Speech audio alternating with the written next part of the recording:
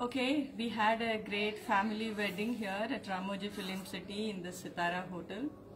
Um, it was a small gathering of about 100 people or so. It was a very close family members. And uh, we have arrived here on 24th. Initially it was just few of us and we had a very good time.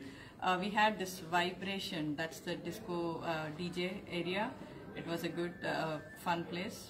And uh, the wedding was very well organized. Uh, uh, the staff was all very well uh, wearing masks and following all the uh, COVID uh, restrictions.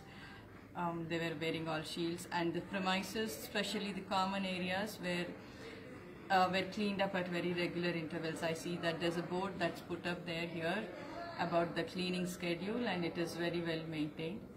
The food was really amazing. It, there was, it was not too spicy. It was very homely food. Children liked it a lot. Overall, we had a very great experience in this Sitara Hotel. Thank you so much uh, for the management who's been really collaborative and cooperative with us. Thank you so much.